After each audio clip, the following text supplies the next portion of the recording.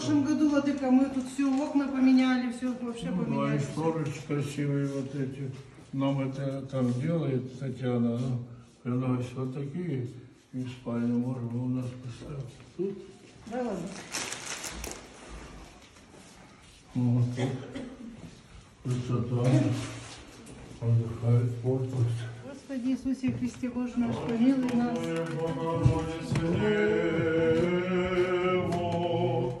Радость возвести все вселенной, и с тебе повосия солнце правды Христос Бог наш, и разрушив клятву даде благословение, и упраздни смерть дарова нам живот вечный. Мальчика поздравляем праздником Престольного Ростова Престой Богородицы. Ты всегда любила, Божья Мать, ты любишь. Украшение было нашего собора Одессы. А теперь тут украшаешь обитель. Лик такой светленький, да, благородный. Мы желаем, чтобы ты выздоровел, чтобы Господь был рядом с тобой еще многие годы, радовал обитель, сестер обитель, и всех нас, кто знает тебя. Всегда молюсь о тебе и желаю, чтобы Господь продлил твои годы, были счастливыми, благодатными, благословенными. И, ага, вот у нас не забыл. Я с благодарностью, Вот это. чтобы я благодарностью крик понесла. Слушай, Мария. Спасибо, Господи.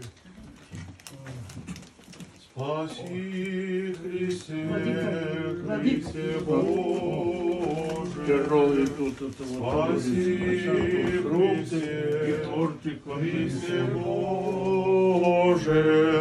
Спаси Христе, Христе Боже.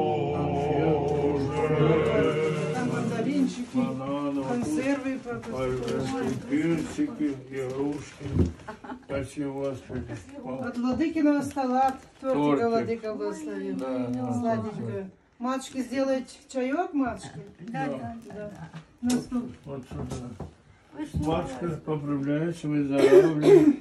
Еще долго жить. 92 это ничего. Он фиолет... 94 мне. 4, как, 28-го? 94 и 5 месяцев. Какого года рода? 28-го. 8 а 12, 8, Да. 4. А мы думаем, да, 94. 94. И Филарету, он. Филарету 92, он каждый день служит, утром, вечером, вечок. Ну, пусть служит. Да. Вот, красиво. Ма- Матушка молится за нас, за Да. обитель. Да. Красиво. Она грамотная, она грамотная, она литорику, она преподавала в воскресной школе. Она всегда по 33 псалом на литургии читает. Она, Владыка, вот там мне прочитали 33, она научила нас мысли. Сейчас тоже стали опускать, потому что война, служба, а надо еще больше читать. Она всех учила, ходила. Там владыка не читали. Не потому, что она хотела мальчику заложить, то что он такой. Она за церковь, за веру православную. Вот сегодня.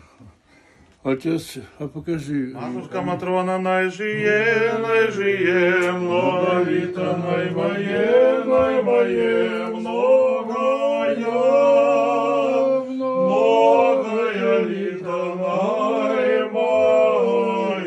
Сто лет, Сто лет, найжие, жена, еще раз, еще раз, найжие, жена,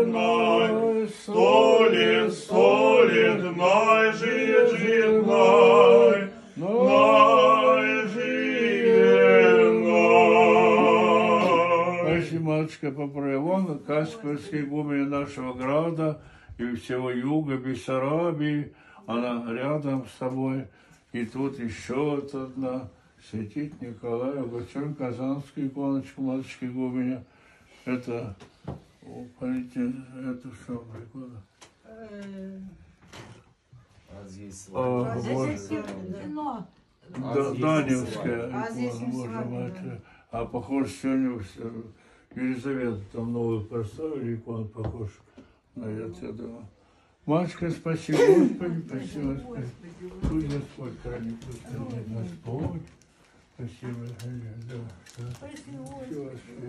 нашем легендарном городе Одессе а, была такая бабушка Таисия, которая посещала все богослужения, нигде ничего не пропускала. И порой назидала священнослужителей, что некоторые участки нельзя опускать. И прошло время, и эта бабушка решила уйти в монастырь. Но предварительно она продала все свое имущество и отдала на благо обители. И приехала в Александровский монастырь, э, древний монастырь. И здесь она уже более 7 лет э, несет свой монашеский подвиг. Теперь она монахиня Матрена.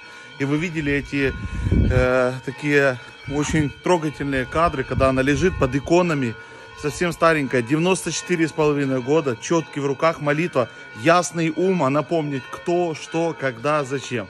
И она очень обрадовалась, увидела владыку, жалуется на здоровье в 94 года, то есть юмор не проходит. Но в то же время это показывает, да, как надо заканчивать свою жизнь, как надо готовиться и думать. И то, что у него ясный ум, говорит только о одном. Как говорил покойный блаженнейший митрополит Владимир, ясность ума – это подтверждение того, что человек живет святой жизнью.